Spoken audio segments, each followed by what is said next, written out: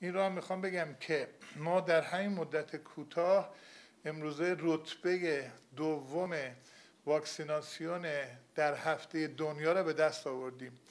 میزان واکسیناسیون از نظر رتبه تعداد واکسنی که انجام شده در دنیا اول آلمان با 6 میلیون تزریق در هفته و ما که هفته قبل با فرانسه مدار اختلاف داشتیم. امروز از فرانسه هم جلو افتادیم. ما با بیش از تقریبا نزدیک به 5 میلیون واکسن واکسنی که تزریق شده رتبه دوم دنیا رو به دست آوردیم و امیدواریم که با این کمک ها و شور مردمی که الان داریم انشالله رتبه اول رو هم در فاصله نزدیکی بتونیم که به دست بیاریم.